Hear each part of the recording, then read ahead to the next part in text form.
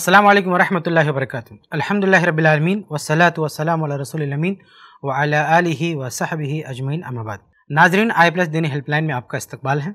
इस प्रोग्राम में हम आपकी तरफ़ से आने वाले सवाल के जवाब देने की कोशिश करते हैं। आज का प्रोग्राम शुरू करने से पहले आपको बता दें कि अगर आप भी अपने सवाल हम तक भेजना चाहें और इस प्रोग्राम के ज़रिए उनके जवाब मालूम करना चाहें तो स्क्रीन पर जो नंबर शो हो रहा है, इसे नोट फरमा लें। इस नंबर पर आपको कॉल नहीं करनी है बल्कि इस नंबर पर जो व्हाट्सएप मौजूद है, उसी पर आपको अपना सवाल भेजना है। आप चाहें तो अपना सवाल वीडियो में रिकॉर्ड करके भेजें या ऑडियो में रिकॉर्ड करके भेजें या लिख कर भेजें, लेकिन याद रखें, जो सवाल हम तक वीडियो या ऑडियो की शक्ल में आते हैं, हम जवाब के लिए उन्हें पहले चुनते हैं। सवाल पूछते हुए ध्यान रखें कि आपका सवाल मुख्तसर हो, आपका सवाल कम से कम अल्फाज में हो, इसी तरह आपका सवाल बामकसद हो, इसी तरह सवाल पूछते हुए अपना नाम और पता भी बताने की कोशिश करें। इन चीज़ों का ख्याल करते हुए अगर आपके सवाल हम तक आते हैं तो हमारी पूरी कोशिश होगी कि उनके जो सही जवाब हो सकते हैं वह आप तक पहुँचाए। तो नाजरीन, आगे बढ़ते हैं। आज हमारे पास सवाल की जो लिस्ट है उनमें सबसे पहले है वीडियो में एक सवाल, उसको देखते हैं। देखते हैं पहला सवाल। अस्सलाम वालेकुम वरहमतुल्लाहि उम्मीद है कि शेख आप खैरियत से होंगे। मेरा नाम है खान मोहम्मद यासिन ज़मीरुद्दीन। मैं इंडिया का हूँ, भिवंडी। अभी फ़िलहाल सऊदी अरबिया में हूँ। मेरा एक सवाल है शेख कि, जैसा कि एक शख्स मस्जिद में आया और उसको ऐसा लगा कि जमात ख़त्म हो गई है तो उसने अपनी फ़र्ज़ नमाज़ अदा कर ली अकेले। तो बाद में उसको पता चला कि जमात अभी नहीं हुई है, अभी बाकी है। तो वो दोबारा जमात में शामिल हो सकता है। इसका जवाब दें जजाक अल्लाह खैर व आसन जजा। भाई साहब का सवाल है, मेरे ख्याल से ये सवाल पहले भी ऑडियो में आ चुका है, जिसका जवाब हम दे चुके हैं। खुलासा ये है कि इस कदर लापरवाही नहीं होनी चाहिए कि एक आदमी मस्जिद में आता है और उसे पता ही नहीं कि जमात हुई कि नहीं हुई। इसलिए कि आजकल की जो मस्जिदें हैं मतलब किसी भी एरिया में मस्जिद कम से कम वहाँ पे एक घड़ी होती है या कम से कम लिखा होता है बोर्ड पे नमाज़ के अवकात तो उसमें अजान और एकामत दोनों मेंशन होता है, दोनों का। तो एक आदमी कैसे भूल सकता है? तो ये चीज़ बहुत अजीब सी लगती है कि एक आदमी आज के दौर में, जहाँ हर जगह घड़ी लगी हुई है या बोर्ड पे लिखा हुआ है, टाइम मेंशन है, जमात का, अजान का, फिर एक आदमी कैसे कंफ्यूज हो सकता है कि ये समझता है मस्जिद में आके कि जमात हो चुकी है? दूसरी चीज़ इस पर गौर करें कि आजकल किसी भी मस्जिद में अजान होते ही लोगों का आना शुरू हो जाता है बल्कि कितने मुसल्ली अजान होने से पहले भी आके बैठ जाते हैं। तो मस्जिद का माहौल ही बता रहा होता है कि अभी जमात नहीं हुई है। ये कौन सी मस्जिद की बात भाई साहब ने की है? समझ से बाहर है। क्योंकि जैसे हम लोग मुंबई में रहते हैं, मुंबई की सारी मसाजिद में आप जाएँ, किसी भी मस्जिद में आप इस कन्फ्यूज़न के शिकार नहीं हो सकते क्योंकि किसी भी मस्जिद में आप, मुंबई की किसी भी मस्जिद में जाएँगे, अजान होते ही लोगों की आमद का सिलसिला शुरू हो जाता है। और मस्जिद में लोगों का जो बैठने का या आने का जो अंदाज़ है, वो अंदाज़ बताता है कि अभी ये लोग नमाज़ की इंतज़ार में हैं। अभी जमात ये ख़त्म नहीं हुई है। तो आज के दौर में बड़ा मुश्किल है। तो मैं समझता हूँ कि अगर ऐसा किसी के साथ होता है तो उनकी लापरवाही है। सबसे पहले उन्हें खुद का मामला सुधारना चाहिए कि ये लापरवाही क्यों हो रही है? देखिए, आजकल तो मोबाइल भी सबके साथ में होता है। तो अगर एक आदमी पाबंद नमाजी है तो उसे ये भी मालूम होता है कि कौन सी नमाज़ का वक्त क्या है। मोबाइल में पहले, भाई घड़ी हर कोई नहीं पहनता था, लेकिन मोबाइल तो हर कोई रखता है, उसमें टाइम रहता है। तो अगर कोई नमाज़ का आदि है तो उसे ये तो मालूम रहता ना कि कौन सी नमाज़ का वक्त कब है। कहीं भी आप जाएँगे तो अंदाज़ा रहता है कि नमाज़ का वक्त हुआ कि नहीं हुआ। तो ये कैसे, इतनी बड़ी लापरवाही कैसे हो गई? सबसे पहले उसको, उस पर ध्यान देने की ज़रूरत है। दूसरी बात यह है कि अगर उन्होंने नमाज़ पढ़ ली है और वह नमाज़ वक्त से पहले पढ़ी है, यानी उनको ये भी नहीं मालूम जमात हुई है कि नहीं हुई तो ये भी हो सकता है कि वक्त से पहले पढ़ लिया हो। तो अगर ऐसा किया है तो नमाज़ उनकी बातिल है। उस नमाज़ की कोई हैसियत नहीं है। उस नमाज़ की कोई हैसियत नहीं है जिस नमाज़ को उन्होंने वक्त से पहले पढ़ा यानी अजान होने से भी पहले पढ़ लिया और वक्त भी नहीं हुआ तो वो नमाज़ बातिल है। और अगर अजान हो चुकी है मस्जिद में, उसके बाद उन्होंने ये समझ के कि जमात हो चुकी है, नमाज़ पढ़ लिया तो ये तो बहुत अजीब बात है। लेकिन अगर चलो मान लेते हैं कि ऐसा कहीं किसी वजह से हुआ, यानी कोई ऐसी मस्जिद है कि अजान हुई और अजान दे के चला गया, कोई नहीं आ रहा है, बहुत देर में लोग आते हैं, या कोई रास्ते में कोई ऐसी मस्जिद है जहाँ इक्का दुक्का लोग आके जमात बना लेते हैं। तो अगर ऐसा कुछ हुआ है कभी तो इनको अगर लगता है कि अभी जमात नहीं हुई है, मकामी लोग आके यहाँ बाकायदा पाबंदी से जमात बनाते हैं तो फिर उनको उस जमात में शामिल होना चाहिए। क्योंकि देखिए, नमाज़ जो असल फ़र्ज़ है ना, वो इनफरादी तौर पर नहीं, जमात के साथ फ़र्ज़ है, जो फ़र्ज़ नमाज़ है। बाकी जो सुन्नत है नाफिल वो आदमी अकेले पढ़े, लेकिन जो फ़र्ज़ नमाज़ है, उसे जमात के साथ अदा करना ये ज़रूरी है। इसलिए अगर एक आदमी ने गलती से पहले अकेले पढ़ लिया है तो ये जो फ़र्ज़ था, उसको उसने अदा नहीं किया है। इसलिए उसे जमात के साथ दोबारा पढ़ना होगा। उम्मीद है कि आपको जवाब मिल गया होगा। आगे बढ़ते हैं, अगला सवाल देखते हैं। अस्सलाम वालेकुम वरहमतुल्लाहि वबरकातुहू शेख मोहतरम, एक सवाल आया है। मैं मोहम्मद इरशाद बात कर रहा हूँ, सऊदी अरब ताइफ से और इंडिया, यूपी का रहने वाला हूँ, गाज़ीपुर। सवाल ये आ रहा है शेख मोहतरम कि मेरी एक फूफी हैं। फूफी की लड़की हैं, बड़ी लड़की हैं लोग, बालिग हैं, बाईस तेईस साल की लड़की हैं। तो फूफी की लड़की के ताल्लुक से एक आज खबर आया है, फूफी हमसे बात कर रही थी फ़ोन से तो उन्होंने बताया है कि हुआ ये है कि कोई पड़ोस का ही लड़का है उसने आज एक बहाने से इनके घर पे कुछ फल, फ्रूट वगैरह भेजा है, शायद खुद ही ला के पहुँचाया है। बहाना ये था कि भाई ने भेजा है, यानी आपके बेटे ने, ये मेरी फूफी की जो लड़के हैं, उन्होंने भेजा है। बाद में जब इनसे बात किया गया, उनके, यानी फूफी ने अपने बेटे से जब बात किया है तो मालूम ये चला कि नहीं, मैंने तो नहीं कुछ भेजा है। तो इससे पता ये चला है बात को और मालूम करने पर, छानबीन करने पर यह मालूम चला है कि वो लड़का इनकी लड़की को पसंद करता है, निकाह करना चाहता है। अब यहाँ पे मामला ये बन रहा है कि हम लोग अहल हदीस हैं, फूफी हमारी अहल हदीस हैं, इनकी बेटी अहल हदीस हैं और लड़का जो है वो बरेलवी है। और इनका ये कहना है कि मैं जा करके उससे बात करूँगी, उसको बताऊँगी कि हम लोग अहल हदीस हैं, किताब सुन्नत को मानने वाले हैं और, उसको भी कहूँगी कि आप भी मानिए, तब हम लोग बात आगे बढ़ाएँगे। तो क्या शेख मोहतरम वो गैर महरम लड़का है? वो गैर महरम लड़का है, वो इनके लिए भी गैर महरम है, इनकी बेटी के लिए भी गैर महरम है। तो क्या उससे जा करके घर से बाहर जा करके औरत के लिए जायज़ है कि वो गैर महरम से ये बात करे कि हम लोग किताब सुन्नत को मानने वाले हैं, आप भी मानिए, यानी तबलीग करे? और इसमें कहाँ तक जायज़ है, कहाँ तक गुंजाइश है या या नाजायज़ या हराम है, औरत के लिए नहीं जायज़ है, ऐसा मुनासिब आप इसके बारे में वजाहत फरमाते हैं। और शेख मोहतरम, एक बात और कि यहाँ पे इनके ऊपर ये बात ज़्यादा ज़रूरी है क्या कि ये अपने शौहर को, यानी जो मेरे फूफा हैं, उनको ये बात बताएँ, जब वो घर पे आएँ को शाम को तो इनको ये बात बताएँ कि आपकी बेटी के ताल्लुक से ऐसा ऐसा आज हुआ है और फ़लाँ ने ला करके फल फ्रूट कुछ पहुँचाया है और उसने ऐसी ऐसी बातें उसने तो डायरेक्ट नहीं कहा है लेकिन मालूम करने पर कि उसने ऐसा क्यों किया है तो मालूम करने पर कहीं और से ये बात मालूम चला है कि वो आपकी बेटी को पसंद करता है और उससे निकाह करना चाहता है। तो इसमें कौन सी बात ज़्यादा बेहतर है? कौन सा बात ज़्यादा मज़बूत है? क्या करना चाहिए? कौन सी बात नाजायज़ है जो नहीं करना चाहिए? इसके बारे में शेख मोहतरम वजाहत फरमा दें। अल्लाह ताला आपको जजाय खैर अता फ़रमाए। अल्लाह ताला आपको नेक तोफ़ी अता फ़रमाए। अल्लाह ताला आपको लंबी उम्र अता फ़रमाए। आपके दर्जात को बुलंद फरमाए। अल्लाम वरहमल वर्क ये इरशाद भाई हैं, इनका सवाल है, लंबा सवाल था और एक पूरा वाक़ इन्होंने सुनाया है। उसको मैं दोहराऊँगा नहीं। उसमें असल चीज़ ये पूछना चाहते हैं कि कोई लड़की है जो किसी अहलदीस लड़की है, किसी ऐसे लड़के को पसंद करती है जो शिरक बिदत में गिरफ़्तार है।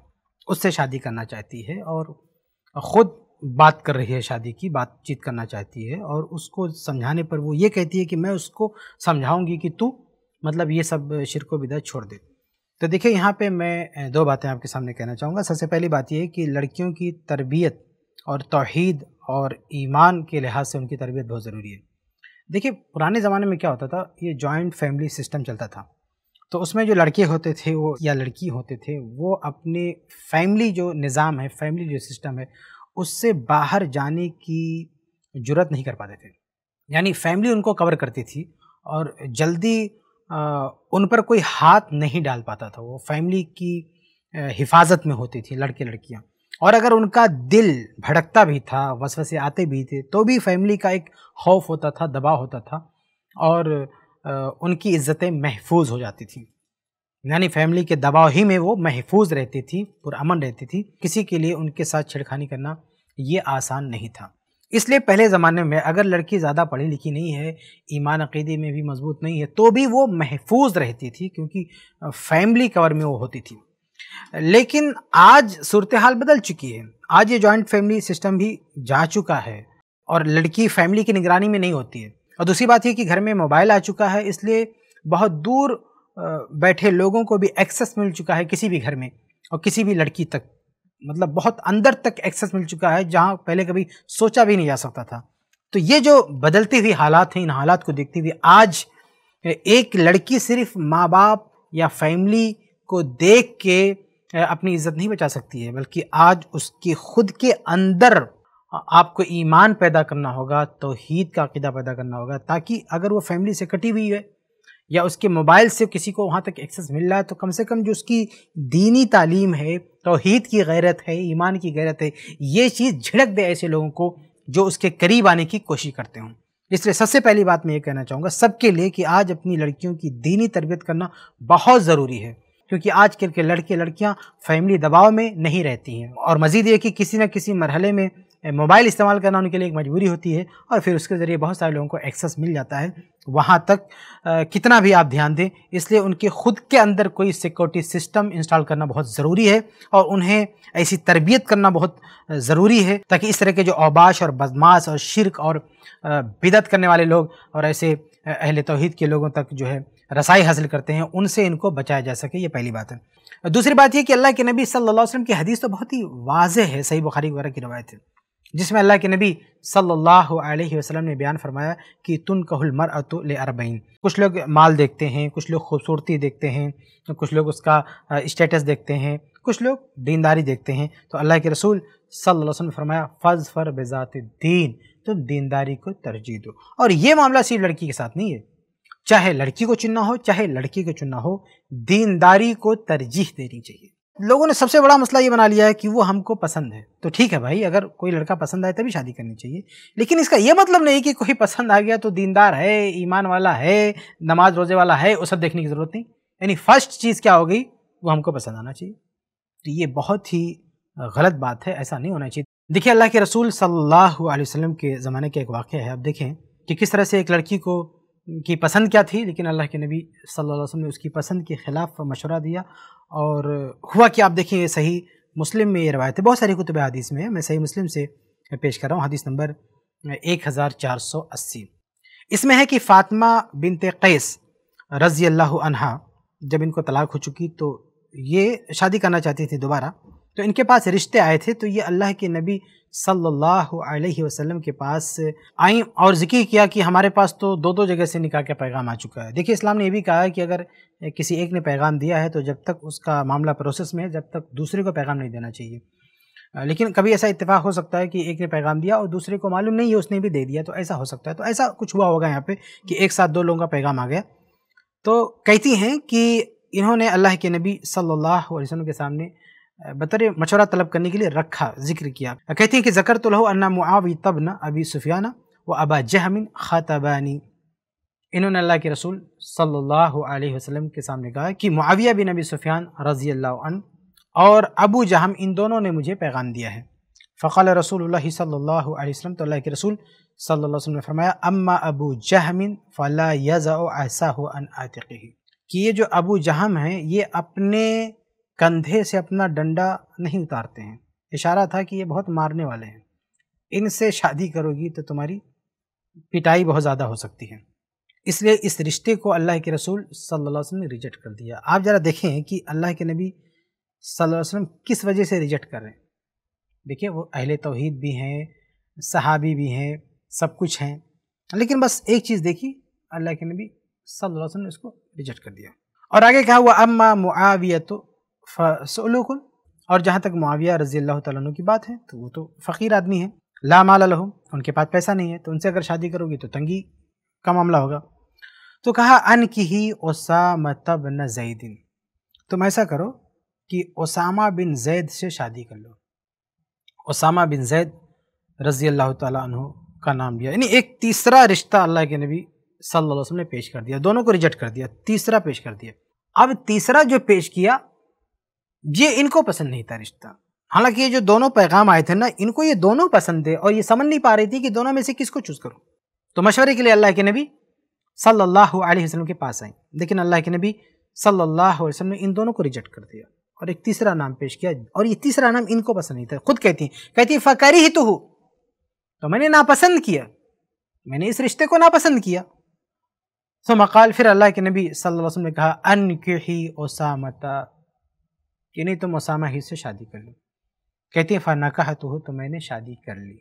अब आप यहाँ पर देखें कि एक औरत ने उसामा से शादी कर ली, जो रिश्ता इनको पसंद नहीं था। अल्लाह के नबी सल्लल्लाहु अलैहि वसल्लम ने जो कहा, उसे मुकदम रखा और उस पर अमल करते हुए शादी कर लिया। और कहती हैं फ़ाजा अल्लाफ़ी खैरन। कहते हैं कि फिर बाद में अल्लाह ताला ने इसी रिश्ते में खैर पैदा कर दिया। इतना खैर कहते हैं कि वक्तबत तो भी कि फिर मामला ऐसा हो गया कि दूसरी औरतें रश करने लगी, यानी इतना अच्छा रिश्ता हो गया। तो कहने का मतलब ये कि कभी कभी ऐसा लगता है कि ये रिश्ता ठीक नहीं है, पसंद नहीं है, लेकिन उसमें बहुत बड़ा खैर होता है और बाद में वो पता चलता है। तो ख़ास तौर से जो वालदेन हैं, जब वो फ़ैसला करते हैं, वो कोई रिश्ता चुनते हैं तो बहुत ज़्यादा पहलुओं पर गौर करते हैं। इसलिए एक लड़की को जज्बाती नहीं होना चाहिए और सिर्फ़ ये नहीं देखना चाहिए कि शक्ल सूरत के अतबार से पसंद है, बस आप रिश्ता कर लें। असल चीज़ दीनदारी है। दीनदारी देखना चाहिए। और दीनदारी का मतलब क्या है? दीनदारी का मतलब नहीं है कि शादी करने के बाद उसे दीनदार बनाएँगे। आप ज़रा सोचें कितना बड़ा रिस्क है कि एक लड़का जो 20-25 साल तक दीनदार नहीं है, शिरक और बिदत के माहौल में उसकी तरबियत हुई है, वो कितना बड़ा रिस्क है? उससे शादी करना कितना बड़ा ख़तरा है? और एक लड़का जो 20-25 साल तक अहले तोहीद के घराने में रह रहा है, वो उसके मुकाबले में कितना अच्छा हो सकता है? तो ये ना सोचे कि मतलब किसी चीज़ को बदलना आसान नहीं होता कि मिनटों में इसको बदल दें। अगर शिरक और बुतप्रस्ती के माहौल में कोई बीसों साल गुजार चुका है तो बहुत बड़ा ख़तरा है उससे शादी करना। ये सोचकर कि शादी के बाद हम उसको बदलने की कोशिश करेंगे। तो इस दुनिया में बहुत ज़्यादा ज़िंदा नहीं रहना है। एक दिन मर के जाना है और असल चीज़ आखिरत की ज़िंदगी है। इसलिए तोहद को और इतबा सुन्नत को दाव पे नहीं लगाना चाहिए। आदमी बड़ी से बड़ी बुराई में फंस जाए उतना बड़ा मसला नहीं है लेकिन किसी शिरक करने वाले बिदत करने वाले के साथ रहे ये बहुत ख़तरनाक चीज़ है। इसलिए कभी भी चाहे वो लड़का हो चाहे लड़की हो अगर उसके अंदर शिरक है बिदत है तो उससे रिश्ता कतअन नहीं करना चाहिए। उम्मीद है कि आपका जवाब मिल गया होगा। आगे बढ़ते हैं अगला सवाल देखते हैं। अस्सलाम वालेकुम वरहमतुल्लाहि वबरकातुहू। अल्लाह के फजल करम से होंगे। जी मेरा एक सवाल है। जी, मेरे को जब मालूम नहीं था, मैंने एक हाथ में एक नाम ऐसे ही लिख दिया है, ब्लेड से। अब उसको मिटाना चाहते हैं। क्या जला के मिटा सकते हैं? कि ऐसे ही रहने दें। इसकी वजाहत कीजिए कुरान हदीस की रोशनी में। अस्सलाम वालेकुम रहमतुल्लाहि वबरकातुहू। भाई साहब कहते हैं कि हमने अपने हाथ में कोई नाम लिख लिया है, उसको अब मिटाना चाहते हैं। कुरान हदीस की रोशनी में वजाहत कीजिए। भाई, नाम लिखते वक्त आपने कुरान हदीस की रोशनी में वजाहत तलब की थी? आदमी आजकल हालत ये हो गई कि कुछ भी करता है और फिर सवाल करता है, कुरान हदीस की रोशनी में वजाहत कीजिए। इस उम्मीद पर कि कुरान हदीस में ऐसे ख़ास इस चीज़ को मेंशन करके कुछ लिखा होगा। देखिए, कुरान हदीस में हर चीज़ वजाहत के साथ नहीं लिखी होती। कुरान हदीस की रोशनी में आदमी इश्तहाद करता है और मसले का कोई हल निकालता है। तो बहरहाल आदमी को दीन से ज़्यादा जुड़ना चाहिए, कुरान हदीस का पहले से इल्म हासिल करना चाहिए, ताकि वो ख़ुद कुरान हदीस की रोशनी में कोई भी कदम उठाए और बाद में गलती करने के बाद उसको इस तरह के सवाल करने की नौबत ना आए। तो देखिए, अगर आपने हाथ पे कुछ लिख लिया है तो एक गलती तो आपने कर दी है। तो अगर उससे कोई नुकसान नहीं है, कोई मसला नहीं है तो उसको मिटाने की कोई ज़रूरत नहीं है। उस पर आपने क्या लिखा है, ये नहीं बताया कि वो लफ्ज़ अच्छा है, गलत है। हो सकता है कोई बुरा लफ्ज़ हो तो आपको यही कहा जाएगा कि उसको मिटा दिया जाए। मसलन आपका किसी लड़की से के साथ कोई मामला था, उसका आपने नाम लिख रखा वहाँ पे, और आपकी उससे शादी भी नहीं हुई, आपसे उसका कोई ताल्लुक भी नहीं है, और ऐसे जैसा कि कुछ लोग लिख रखते हैं। तो ऐसे हालत में हम ये कहेंगे, उसको आप मिटा दो। एक अजनबी लड़की जिसका नाम आपने लिख कर रखा, अगर उससे आपका कोई ताल्लुक नहीं तो उसको मिटा देना चाहिए, ताकि आपके जहन में भी वो सब ख्याल ना आए, एक बुराई से, तोबा कर लो, उससे भूल जाएँ, और इसकी वजह से आगे भी कोई लफड़ा ना हो कोई मसला ना हो उस लड़की को भी कोई नुकसान ना पहुँचे। इसलिए अगर ऐसा मामला है तो मिटा देना चाहिए। और अगर इसके अलावा आपने ऐसे ही कुछ लिख रखा है अपना नाम लिख रखा है तो उससे कोई नुकसान पहुँचने वाला नहीं तो आप उसको उसके हाल पे छोड़ दें उसमें कोई मसला नहीं है। उम्मीद है कि आपका जवाब मिल गया होगा। आगे बढ़ते हैं अगला सवाल देखते हैं। असलकम वबरकातुहू। उम्मीद है अल्लाह के फजल कलम से होंगे। जी मैं बूझ कर से बोल रहा हूँ, मेरा नाम रायब है।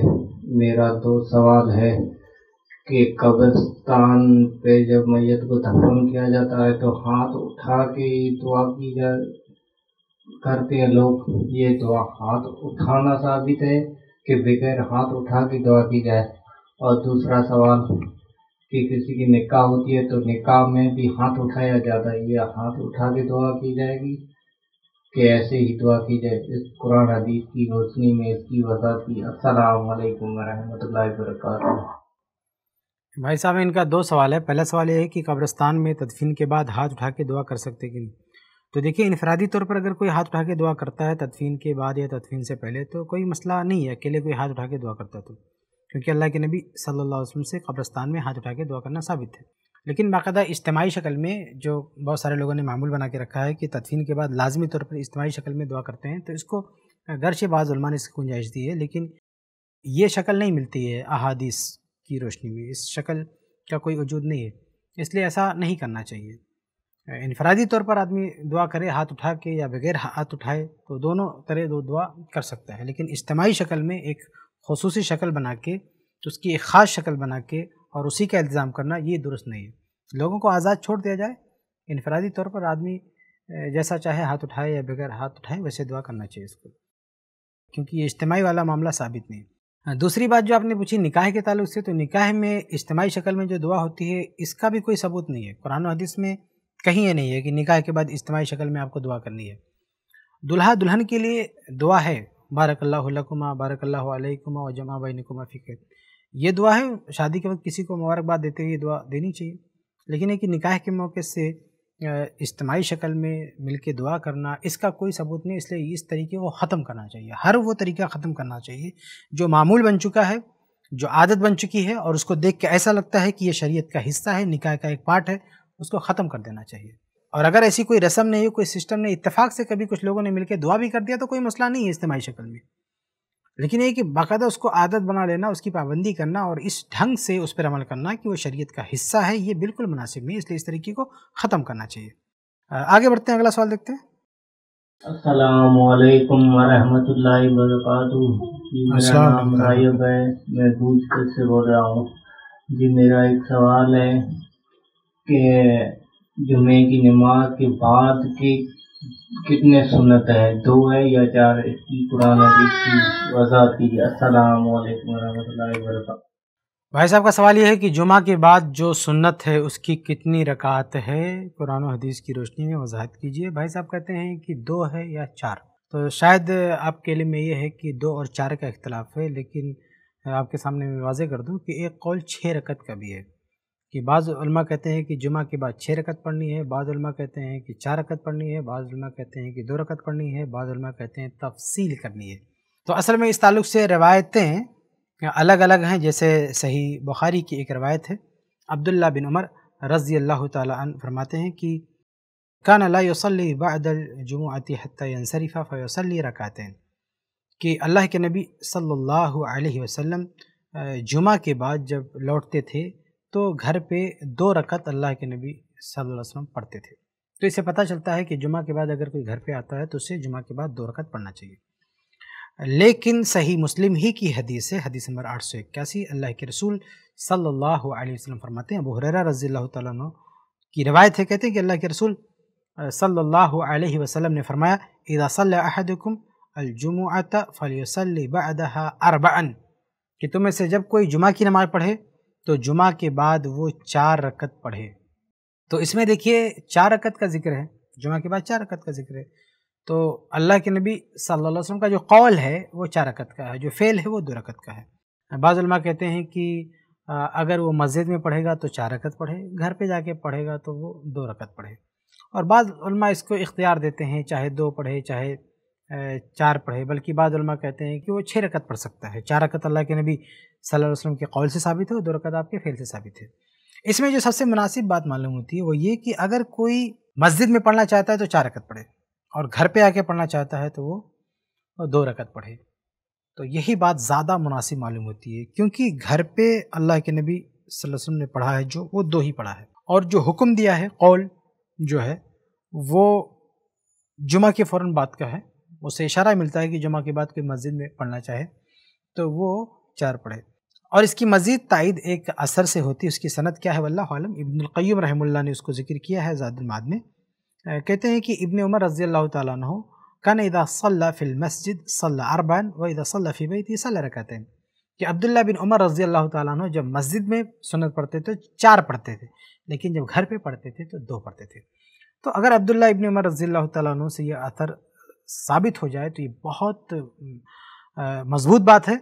क्योंकि एक तो सहाबी का एक फ़हम हमारे सामने आ रहा है और दूसरा है कि अब्दुल्ला बिन उमर रज़ी अल्लाह तु इत्तबा सुन्नत में मारूफ हैं। ये अल्लाह के नबी सल्लल्लाहु अलैहि वसल्लम की सुन्नतों को चुन चुन कर अमल करते थे। अल्लाह के नबी वसल्लम की सुन्नतों से बहुत ज़्यादा शौक़ था इनको नबी की पैरवी करने का, नबी की इत्तबा करने का। तो इस लिहाज से यही बात ज़्यादा मुनासिब लगती है कि अगर कोई आदमी मस्जिद में पढ़ना चाहता है, चार रकत पढ़े और घर पे पढ़ना चाहता है तो दो रकत पढ़े। उम्मीद है कि आपको जवाब मिल गया होगा। आगे बढ़ते हैं अगला सवाल देखते हैं। हाँ जी शेख साहब अस्सलाम वालेकुम शेख साहब वो सवाल मुझे याद आया।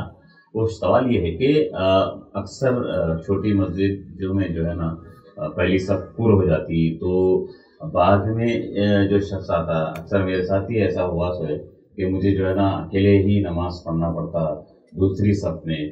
तो ये नमाज़ दुरुस्त होगी मेरी होती है क्योंकि मैं रिसेंटली एक हदीस को जो है ना तिलावत किया था तो उसमें फरमाया, अल्लाह के नबी वसल्लम के पीछे सिंगल शख्स जो खड़ा होता है इमाम के पीछे, सफ के बाद, पहली सब पूरी होगी कंप्लीट होगी, उसके बाद अगर कोई सिंगल शख्स खड़ा होता है तो उसकी नमाज़ नहीं होगी। तो मैं थोड़ा सा घबरा गया। मुझे मतलब मतलब मुझे एक बेचैनी सी शुरू होगी कि बड़ा मैंने जो नमाज़ें पढ़ी है, या मुझसे जो नमाज़ें हुई है, वो क्या है दुरुस्त है। प्लीज़ आप ज़रूर इस सवाल का जवाब जो है ना आप मुझे इंशाल्लाह दीजिए। मेरा नाम मोहम्मद जिलानी है। मैं हैदराबाद से ताल्लुक़ रखता हूँ और हैदराबाद से ही बता रहा हूँ। जजाकुमल्ला खैर ज़रूर इंशाल्लाह। कुरान और हदीस के में सवाल का भी जवाब दे दीजिए इंशाल्लाह। ये जिलानी साहब हैं, इनका सवाल ये है कि अगर पहली सफ़ मुकम्मल हो चुकी है और वहाँ शामिल होने की गुंजाइश नहीं है तो पीछे अगर कोई आदमी आता है, उसके बाद वो खड़ा होता है तो अकेले खड़ा होगा, जबकि हदीस में ये इन्होंने पढ़ा है कि अगर पीछे कोई अकेले नमाज़ पढ़ता है तो उसकी नमाज़ नहीं होती। तो देखिए, ये हदीस वाकई अपनी जगह पर सही है कि अगर कोई पीछे अकेले नमाज़ पढ़ता है तो उसकी नमाज़ नहीं होती। लेकिन इस हदीस को महमूल किया जाएगा इस बात पर कि अगली सब में जगह खाली है और ज़बरदस्ती कोई आके पीछे खड़ा होता है तो उसकी नमाज़ नहीं होती। लेकिन अगर अगली सफ़ मुकम्मल हो चुकी है, वहाँ खड़े होने की गुंजाइश नहीं है, तब तो एक आदमी के लिए मजबूरी है। और ऐसी सूरत में ये हदीस उस पर फिट नहीं होगी। इसको मिसाल से इस तरह समझें कि मर्द के पीछे औरतें भी नमाज़ पढ़ सकती हैं और ये जो हदीस है कि जो अकेले नमाज़ पढ़ेगा, उसकी नमाज़ नहीं होगी तो ये सिर्फ़ मर्दों के लिए नहीं, औरतों के लिए भी है। यानी मिसाल के तौर पर एक औरत की मुकम्मल सफ़ है और बाद में कोई औरत आती है और अगली सफ़ में जगह खाली है और पीछे अकेले खड़ी हो जाती है तो उसकी नमाज़ नहीं होगी। उसकी नमाज़ नहीं होगी, क्योंकि वो अकेले खड़ी है। लेकिन आप ये फ़र्ज़ करें कि आगे मर्दों की सफ़ है और सबसे पहले एक औरत, अकेले एक ही औरत आती है। अभी और औरतें नहीं आई हैं, जमात खड़ी होगी। तो क्या करेगी? क्या अकेले खड़ी होगी? ज़ाहिर है कि मर्दों के सबके पीछे वो खड़ी होगी। तो अगर वो अकेले खड़ी होगी तो क्या कहेंगे? उसकी नमाज़ नहीं होगी? यकीन उसकी नमाज़ होगी? बल्कि बाज़ रिवायत में आता भी है कि अल्लाह के नबी सल्लल्लाहु अलैहि वसल्लम ने नमाज़ पढ़ाई और सफ़ लगी पीछे, उसके बाद अकेले औरत पीछे खड़ी हुई। चुनाचे सही बुखारी की हदीस हदीस नंबर तीन सौ अस्सी। अनस बिन मालिक रज़ी अल्लाह तु कहते हैं कि अन जद्दत मुलैका दात रसूल सल्लल्लाहु सनात फ़ाकल मिन तो मकल कोम फली ओसलकुम उनकी दादी थी, उन्होंने अल्लाह के नबी सल्लल्लाहु अलैहि वसल्लम की दावत ली और अल्लाह के नबी सल्लल्लाहु अलैहि वसल्लम उनके घर में आए, खाना खाया, फिर उसके बाद में नमाज़ हुई। तो अनस रज़ी अल्लाह तन फरमाते हैं कि फ़काम रसूल वसम व सफ़ तो वलीतीम वराह कि अल्लाह के नबी सल्लल्लाहु अलैहि वसल्लम नमाज़ के लिए खड़े हुए, यानी इमाम हुए, और मैं और एक यतीम, हम दोनों पीछे एक सब बनाए। वल आजूज़ में वराइना, और ये जो दादी थी ना, जो औरत थी, वो हमारे पीछे खड़ी होगी। तो ये दादी अकेली थी, अकेली, वाहिद अकेली, और अल्लाह के नबी सल्लल्लाहु अलैहि वसल्लम के पीछे जो सफ़ थी, उस सफ़ के पीछे तनहा खड़ी हुई, अकेले खड़ी हुई। लेकिन अल्लाह के रसूल सल्लल्लाहु अलैहि वसल्लम ने ये नहीं कहा कि तुम्हारी नमाज़ तो बातिल होगी, तुम तो अकेले खड़ी हुई। हालाँकि वो जो हदीस है ना, जो सबके पीछे अकेले खड़े होगा, उसकी नहीं होगी। वो हदीस मर्दों, औरतों दोनों के लिए, जैसा कि मैं शुरू में बता चुका हूँ। क्योंकि औरतों की भी अगर एक सफ़ लगी है, मुकम्मल नहीं, पीछे आके कोई औरत खड़ी होती है तो हदीस उसको भी शामिल है, उसकी नमाज़ नहीं होगी। लेकिन ये जो सिचुएशन है कि मर्दों की सफ़ है तो ये औरत मर्दों में तो शामिल नहीं हो सकती ना, और अकेले। तो इसके लिए मजबूरी इसलिए उसकी नमाज़ हो जाएगी। तो ऐसे मर्दों के साथ भी तो हो सकता है कि आगे सब मुकम्मल हो चुकी है। अब वहाँ घुसने की गुंजाइश नहीं है, वो किसी को खींचेगा तो सब भी नहीं काट सकता। तो उसके पास कोई ऑप्शन ही नहीं है कि वो खड़ा हो। आप क्या कहेंगे कि मतलब वो नमाज़ पढ़ेगा ही यानी जमात खत्म हो जाए, वो खड़ा रहे। ये तो नहीं हो सकता ना इस हदीस का मतलब क्योंकि दूसरी हदीस में अल्लाह के नबी सल्लल्लाहु अलैहि वसल्लम फरमाते हैं कि जब तुम नमाज़ के लिए आओ तो जो इमाम के साथ पाओ वो पढ़ लो। इमाम के साथ शामिल होना। अल्लाह ताला ने कुरान में कहा हुआ रकाऊ मर्राकीन यानी जो नमाज़ पढ़ने वाले हैं, उनके साथ मिल के नमाज़ पढ़ना है। तो जब जमात खड़ी है, जमात में शामिल होने का हुक्म है तो एक बंदा अकेले खड़ा कैसे रहे? अगर मान लो कोई शख्स लास्ट में आया है, सब मुकम्मल हो चुका उसके पीछे कोई आने वाला नहीं है तो क्या वो अकेले खड़ा रहेगा? बिल्कुल नहीं खड़ा रहेगा। बल्कि वो अकेले पीछे बाकायदा खड़े होकर नमाज़ में शामिल हो जाएगा।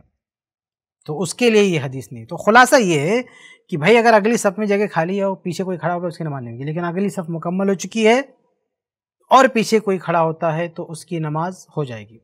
ऐसे ही औरतों का मामला है कि अगर कोई एक औरत आती है, मर्दों की सब मुकम्मल है, पीछे कोई औरत आती है, अकेली है तो उसकी नमाज़ हो जाएगी। और अगर पीछे औरतों की एक सफ़ है, वो मुकम्मल नहीं है, कोई औरत आती है, उसकी नमाज़ नहीं होगी। लेकिन औरत की भी कोई सफ़ मुकम्मल हो चुकी है, फिर कोई औरत आती है, पीछे अकेली खड़ी होती है तो उसकी नमाज़ हो जाएगी।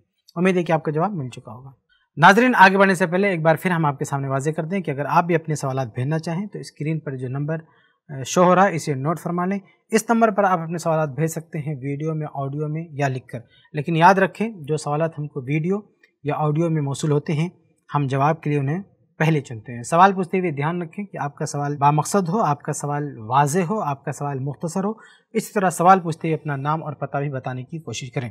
इन चीज़ों का ख्याल करते हुए अगर आपके सवाल हम तक आएँगे तो हमारी पूरी कोशिश होगी कि उनके जो सही जवाब हो सकते हैं वो आप तक पहुँचाएँ। तो नाजरीन आगे बढ़ते हैं। हमारे पास कुछ और सवाल हैं। देखते हैं अगला सवाल।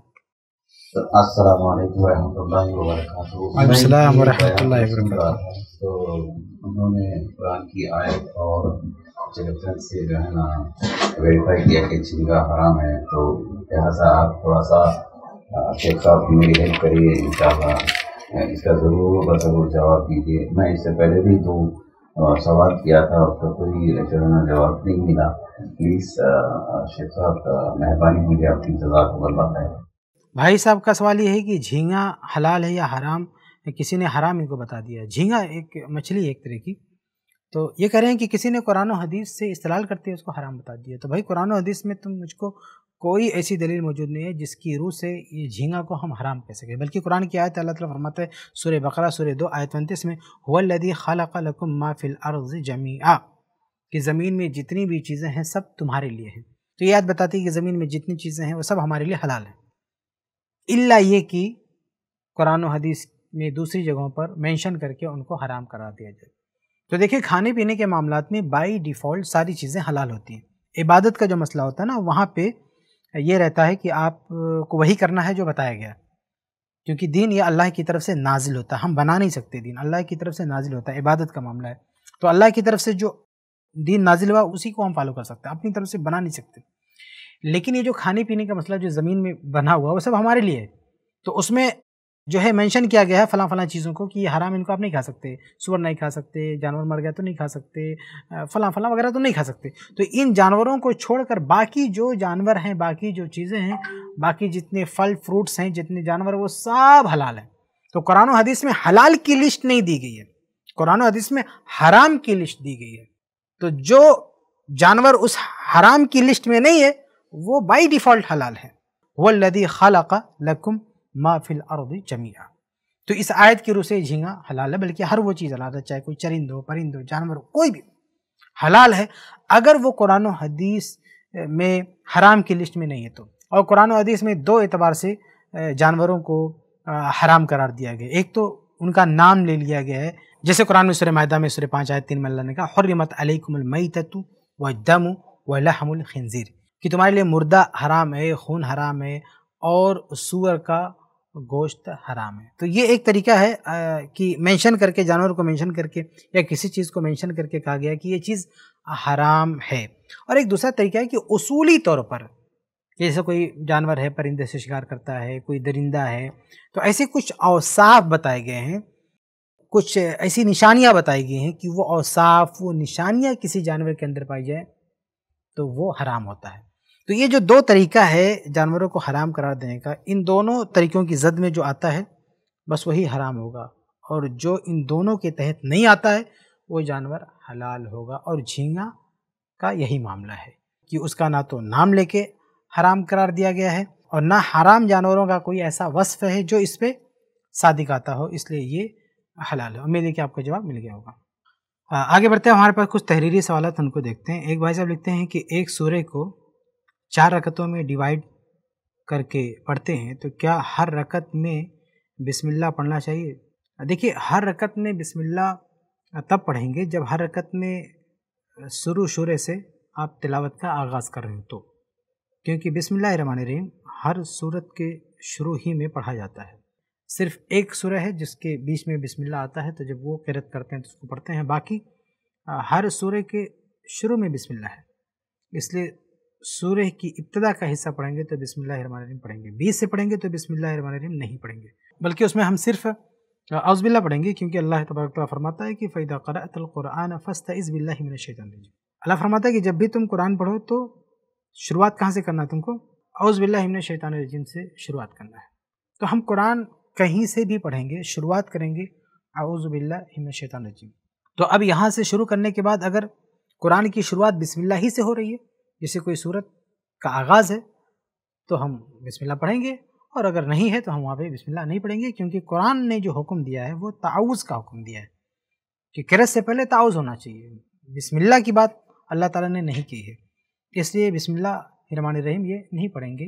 अगर हम बीच सूर्य से पढ़ रहे हैं तो कुछ लोग कहते हैं कि वो जो हदीस अल्लाह के नबी अलैहि की कुल्ल अमर ज़ीबाल ला युब्दोफ़ी है बिस्मिल्लाह फ़ो अबतर। कि हर वो काम जो बिस्मिल्लाह से नहीं शुरू किया गया तो वो नामुकम्मल है। तो इसमें जो बिस्मिल्लाह की बात है, वो अलग बिस्मिल्लाह, वो सिर्फ़ बिस्मिल्लाह है बस, इतना बिस्मिल्लाह। लेकिन कुरान जिससे शुरू होता है, वो बिस्मिल्लाह रहमान मुकम्मल है, वो थोड़ा अलग है। तो उस हदीस की रूह से भी यहाँ पे ये कहना कि बिस्मिल्लाहिर्रहमानिर्रहीम हम पढ़ेंगे क्योंकि शुरुआत कर रहे हैं, ये मुनासिब नहीं है। बल्कि अगर ऐसी कोई हदीस होती जिसमें मुकम्मल बिस्मिल्लाहिर्रहमानिर्रहीम की बात होती ना, कि हर काम से पहले बिस्मिल्लाहिर्रहमानिर्रहीम पढ़ा जाए तो भी हम कुरान की किरत में बीस सूर्य से अगर शुरू करते तो उसको नहीं अमल कर सकते थे, इसलिए क्योंकि अल्लाह ताला ने कहा, फ़ैदा क़रातलकुरान फ़स्त इज़बिल्लाशैतरजीम क्योंकि कुरान पढ़ने का तरीका कुरान ने बता दिया है कि जब आप कुरान पढ़ना शुरू करें तो आपको अज़बिल्लाशैतरजीम पढ़ना है। इसलिए हम उसी से शुरुआत करेंगे बिसमीम से शुरुआत नहीं करेंगे। उम्मीद है कि आपका जवाब मिल गया होगा। आगे बढ़ते हैं। एक सवाल है असल वरहमल वर्क वरहमल वर्क तलाकशुदा औरत इद्दत कैसे गुजारे? किसके लिए दुआ करे? तलाकशुदा औरत इद्दत कैसे गुजारे? देखिए, अगर रजई तलाक है तो शौहर के घर पे इद्दत गुजारेगी वो, शौहर के पास रहेगी वो। और तलाक बाइन है, यानी वो तीसरी बार और फाइनल तलाक है तो उसके बाद शौहर का घर छोड़ देगी, अपने वालिद के घर आएगी और वो इद्दत वहाँ पे वो गुजारेगी। ये दोनों अलग अलग इद्दत है। तो ये डिपेंड करता है कि तलाक कौन सी है? एक औरत को कौन सी तलाक दी गई है? तो हर तलाक के ताल्लुक से मामला होगा। अगर तलाक रज़ी है तो इद्दत गुजारने का तरीका अलग है और तलाक बाइन है तो इद्दत गुजारने का तरीका अलग है। तलाक रज़ी का मतलब ऐसी तलाक जिसके बाद शौहर बीवी को वापस ले सकता है और तलाक बाइन का मतलब ऐसी तलाक जिसके बाद शौहर बीवी को वापस नहीं ले सकता और बाइन की भी दो किस्में होती है बैन सुखरा बैन कुबरा और बैन कुबरा यहाँ पे मुराद है कि जब मुकम्मल फाइनल तलाक हो गई है, यानी तीसरी बार तलाक हो चुकी है, अब वो इद्दत जो गुजारेगी वो अपने घर पे गुजारेगी अब ये जो लिखा ना कि किसके लिए दुआ करे तो भाई इद्दत गुजारने का मतलब दुआ करना थोड़ी होता है।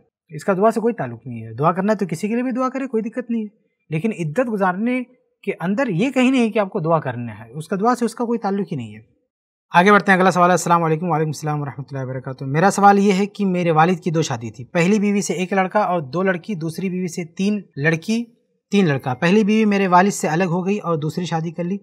लेकिन बच्चे वालिद के साथ रहे। अब मसला ये है कि मेरे नाना के वारिस में सिर्फ़ दो लड़की है।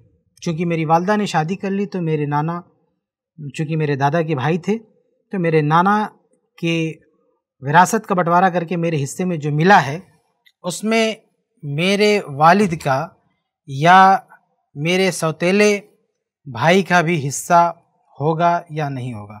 तो देखिए, यहाँ पे ये मसला समझिए। आपने जो ये कहा ना कि आपके नाना और आपके दादा, ये दोनों भाई थे।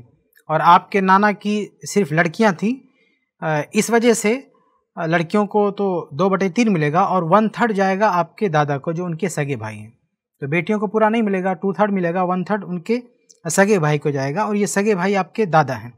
तो ये जो वन थर्ड आपके दादा के पास गया है तो आपके दादा की वाया आपके अब्बा का हुआ, वो आपका नहीं हुआ, वो आपके अब्बा का हुआ, उसमें आपका कोई हिस्सा नहीं है।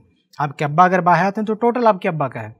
तो दादा के ज़रिए से जो आ रहा है, यानी आपके नाना की जायदाद का टू थर्ड उनकी लड़कियों को मिलेगा और वन थर्ड उनके भाई को मिलेगा क्योंकि बेटा नहीं है। तो वन थर्ड उनके भाई को मिलेगा जिनको आप अपना दादा कह रहे हैं। तो ये वन थर्ड आपका नहीं हुआ। ये वन थर्ड आपके अब्बा का हुआ क्योंकि आपके अब्बा आपके नाना के भतीजे हुए। तो ये आपका है ही नहीं जो इस तरफ़ से आ रहा है, यानी दादा की तरफ़ से आ रहा है। अलबत्ता इधर से जो आ रहा है, यानी आपकी वालदा को जो मिला ना, आपके नाना से आपकी वालदा को भी अगर मिला है तो नहीं मिला तो अलग बात है। लेकिन अगर इधर भी बंटवारा हुआ है, यानी टू थर्ड मिलना चाहिए, मान लीजिए अगर तीन लाख की प्रॉपर्टी है तो दो लाख आपके नाना की बेटियों को मिलना चाहिए, उसमें से एक आपकी वालदा है तो उनको एक लाख मिलना चाहिए, एक लाख आपकी खाला को मिलना चाहिए। तो ये एक लाख अगर आपकी वालदा को मिला है और आपकी वालदा फौत हो चुकी हैं तो ये आपके वालदा की जो भी बच्चे हैं, उनको ये मिल सकता है। तो वालदा के ज़रिए जो आया है, इसमें वालिदा के जितने भी बच्चे हैं, आप हैं या जो भी हैं, उन सब में वो विरासत के हिसाब से लड़का लड़की है तो डबल वन के हिसाब से, लिज्जा करी मिसलो हजिल हुसैन के हिसाब से मिलेगा। तो यहाँ पे जिस तरह से आपने मसला बताया ना तो विरासत दो जगह से आ रही, दो साइड से आ रही, एक आपके नाना से आ रही है और एक आपके दादा से आ रही है। और आपके पास दोनों तरह से आ सकती है। आपके नाना की विरासत आपकी अम्मा को मिलेगी, फिर आपके अम्मा के ज़रिए आपको बेटे की हैसियत से मिल जाएगी और आपके साथ और भी जो बेटे हैं सबको मिल जाएगी। और दादा की तरफ़ से जो विरासत आ रही है तो दादा की विरासत आपके अब्बा को मिलेगी। डायरेक्ट आपको नहीं मिलेगी अगर आपके अब्बा ज़िंदा है तो। हाँ आपके अब्बा का इंतकाल हो जाता है तो फिर ये विरासत जो दादा से आई है गर्चे आपके नाना से घूमते हुए आपके दादा पर गई है, फिर दादा के वाया आई है आप तक, लेकिन ये आपके अब्बा के सारे लड़कों का उसमें हिस्सा सिर्फ़ आपका नहीं है। वो जो लड़की जो बीवी छोड़ के चली गई दूसरी शादी कर लिए, लेकिन उससे जो लड़के पैदा हुए, ये नहीं कि आपके अब्बा के लड़के हैं, वो आपके भाई हैं। तो सौतेले सगे भाई कैसे भी हों। तो ये जो दादा के वाया जो विरासत आ रही है, दादा के बाद जो बाप पे आ रही है बाप के ज़रिए जो आएगी आप तक, वो आपके सारे भाइयों को जाएगी। घर से आपकी माएँ अलग अलग हैं, लेकिन बाप एक है, वो बाप का माल है। ये आप ही ना समझिए कि नाना का वो नाना का नहीं, वो बाप का माल है। इसलिए उसके सारे बच्चों को मिलेगा। हाँ ये जो आपके बाप शरीक भाई हैं, वो कहाँ कटेंगे? आपके माँ की तरफ़ से जो विरासत आ रही है।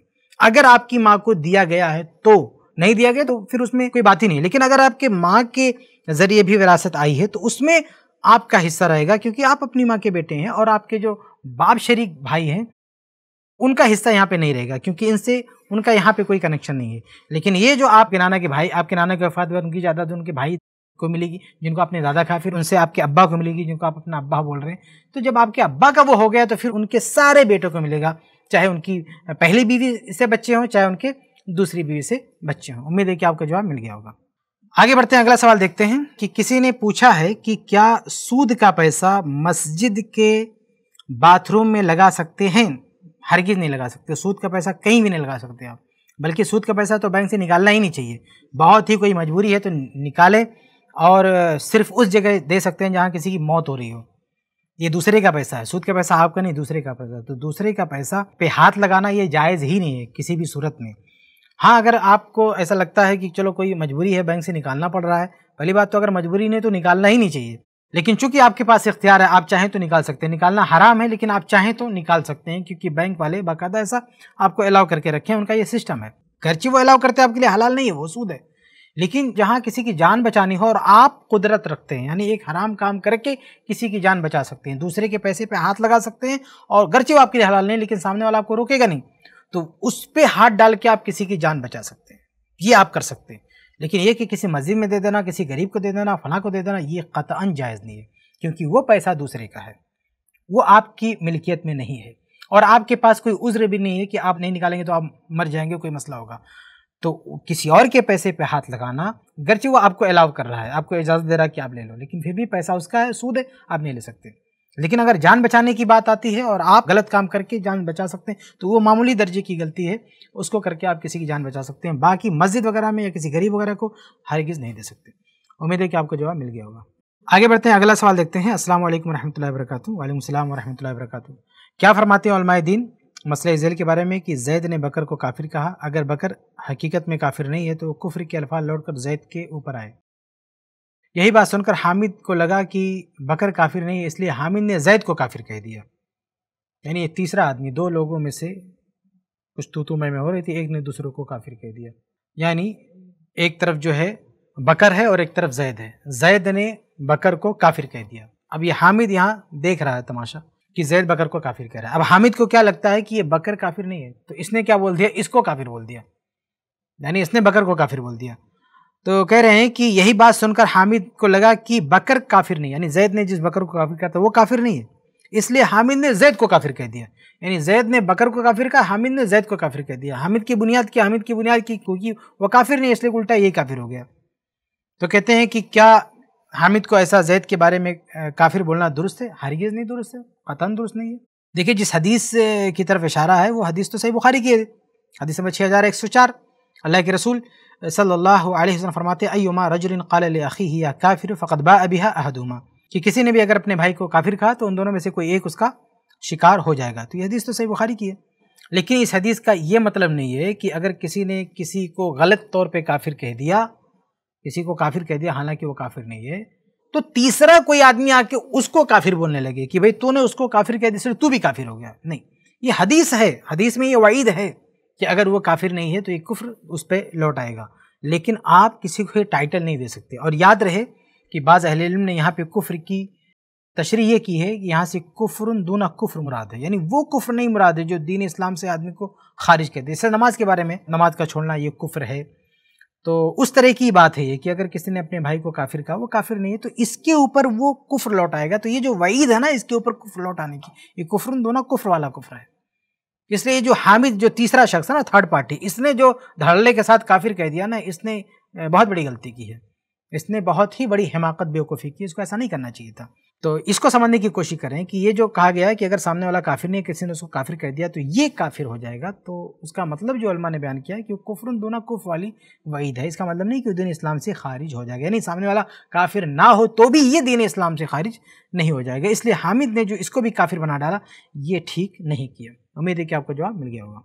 आगे बढ़ते हैं सवाल है, अस्सलाम वालेकुम वरहमतुल्लाहि वबरकातुहू। वालेकुम सलाम वरहमतुल्लाहि वबरकातुहू। पहली तलाक की इद्दत में दूसरी, तीसरी तलाक देना कैसा है? जमहूर उलमा का कौल और मुहदसिन का कौल बताएँ। किन किन औरतों को एक साथ जमा नहीं किया जस्ता दलील सुर नसा वाली आयत छोड़कर निकाह मुहरमात कौन कौन से हैं? मसलन निकाह शिगार निकाह मुता ये तो इतना लंबा चौड़ा सवाल है आपका। ये सबको आपको सीखना तो आप जाएँ किसी आलिम के पास बैठ के और एक एक करके सारी चीज़ें सीखें। यहाँ मैं सिर्फ़ आपका पहला सवाल ले रहा हूँ। पहली तलाक की इद्दत में दूसरी, तीसरी तलाक देना कैसा है? बिल्कुल नाजायज़ हराम है। बिल्कुल नाजायज़ और हराम है। एक बार आपने तलाक दे दिया तो उसके बाद आप ना दूसरी दे सकते, ना तीसरी दे सकते, चौथी कोई तलाक नहीं दे सकते, जब तक कि पहली की इद्दत ख़त्म ना हो जाए, यानी ये कहें कि पहली तलाक का प्रोसेस एंड ना हो जाए। यानी अगर पहली तलाक से बंदे ने रुजू कर लिया है तो अब वो दूसरी तलाक दे सकता। या रुजू नहीं किया है और इद्दत ख़त्म हो गई है, इद्दत ख़त्म होने के बाद ऑटोमेटिक वो निकाह टूट चुका है, उसके बाद अकद जदीद से दोबारा उससे शादी किया तो अब दूसरी तलाक उसको दे सकता है। तो अगर किसी ने अपनी बीवी को एक तलाक दिया है तो बगैर रुजू के या बगैर अकद जदीद की दूसरी तलाक उसको नहीं दे सकता, क्योंकि कुरान हदीस में इसकी कहीं पर कोई गुंजाइश नहीं है कि एक तलाक देने के बाद वो दूसरी भी तलाक दे दे। कुरान हदीस में ऐसा कहीं नहीं है। तो एक बार में सिर्फ़ एक ही तलाक देगा। अब एक तलाक देने के बाद रखना है तो रखे, नहीं रखना तो छोड़े, वो जाके कहीं शादी करे। ये बाद लोगों में पता नहीं कहाँ से मशहूर हो गया कि किसी को तलाक देना तो तीन का कोटा पूरा करना पड़ेगा। ये बिदात, ये खुराफात पता नहीं किसने लोगों में फैला दिया है। कितने सारे लोगों को तलाक देना तो तीन का कोटा पूरा करते हैं, जबकि कुरान हदीस में कहीं नहीं है। सिर्फ़ एक तलाक देना है, रखना तो रखो, नहीं रखना तो उसको रास्ता साफ़ करो। एक तलाक में औरत अलग हो सकती है जाके किसी से शादी कर सकती है आप भी कोई शादी करो, लेकिन ये दूसरी, तीसरी, ये सब तलाक नहीं देना चाहिए। कुरान देश में इसका कोई सबूत नहीं है। और अगर तफसील से आपको पढ़ना है तो इस मौजू पर हमारी किताब वहाँ पर पूरी डिटेल मौजूद है। आप वो किताब पढ़ सकते हैं, तलाक के सिलसिले में। उम्मीद है कि आपको जवाब मिल गया होगा। नाजरीन, वक्त तो हो चुका है, यहीं पर यह प्रोग्राम खत्म करते हैं और आखिर में फिर आपके सामने वाजे करते हैं कि अगर आप भी अपने सवाल भेजना चाहें तो स्क्रीन पर जो नंबर शो रहा है, इसे नोट फरमा लें। इस नंबर पर आप अपने सवाल भेज सकते हैं वीडियो में, ऑडियो में या लिख कर। याद रखें, जो सवाल हमको वीडियो या ऑडियो में मिलते हैं, हम जवाब के लिए उन्हें पहले चुनते हैं। सवाल पूछते हुए ध्यान रखें कि आपका सवाल मुख्तर हो, आपका सवाल बामकसद हो इस तरह सवाल पूछते हुए अपना नाम और पता भी बताने की कोशिश करें। इन चीज़ों का ख्याल करते हुए अगर आपके सवाल हम तक आएँगे तो हमारी पूरी कोशिश होगी कि उनके जो सही जवाब हो सकते हैं, वो आप तक पहुँचाएँ। इसी के साथ दीजिए इजाज़त। इन फिर मुलाकात होगी अगले प्रोग्राम में कुछ और सवाल उनके जवाब के साथ। असल वरहमल वर्क दीन की बात आम करने में आई प्लस टीवी की मदद करें। पेटीएम या गूगल पे के लिए हमारे नंबर्स पर ट्रांसफ़र करें।